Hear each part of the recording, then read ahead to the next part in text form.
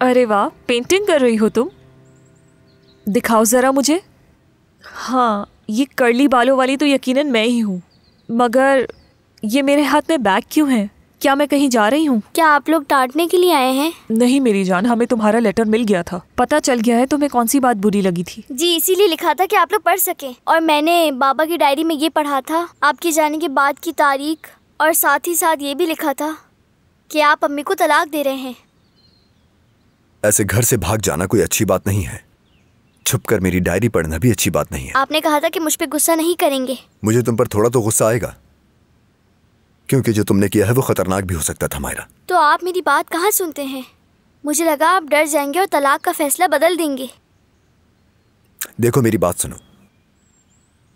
मैंने क्या बताया था याद है तुम्हें?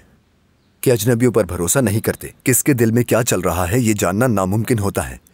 अगर किसी बुरे इंसान से सामना होता तो? अगर तुम्हारे साथ कुछ बुरा हो जाता तो क्या होता? हम पर क्या गुजरती माहिरा सोचा है तुमने?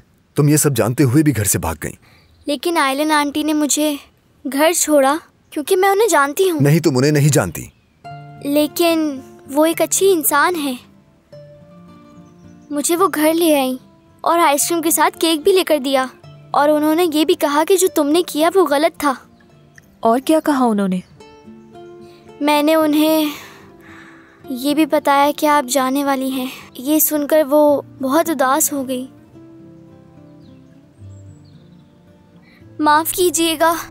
और वाकई मुझे नहीं पता था कि आप लोग मेरी वजह से इतना डर जाएँगे।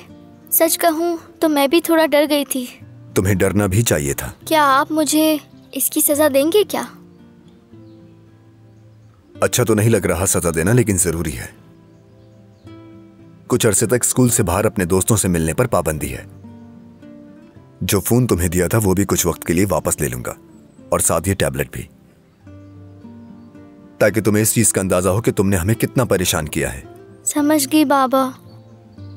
पर आप आप अम्मी को तलाक तो नहीं देंगे ना बाबा? और आप मुझसे वादा करें कि आप अम्मी को तलाक नहीं देंगे। पक्का वादा। मगर तुम जानती हो कि मुझे एक दिन जाना होगा। ऐसी बातें आप लोग मत कीजिए। क्या आप लोगों ने झूठ नहीं बोला मुझसे? तो फिर आप लोगों को कोई सजा क्यों नहीं दे रहा? आप दोनों अलग नहीं होंगे। और आप ही कहते थे कि हम मिलकर रहेंगे। हम तुमसे बिल्कुल झूठ नहीं बोल रहे। मुझे तो जाना ही है ना मगर हम लोग ये बड़ों के बीच की बात है। जब वक्त आएगा तब इस पर बात करेंगे। कब? जब सही वक्त होगा तब। तुम बैठकर अपनी हरकतों के बारे में सोचो। सोचो कि हमें कितना परेशान किया और आइंदा ऐसा कभी मत करना।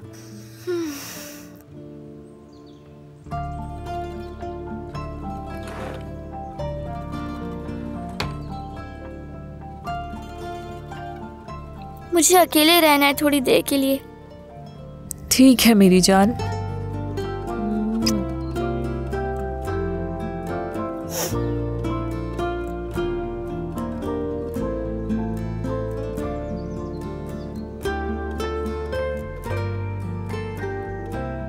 मुझे पता है आप लोग अलग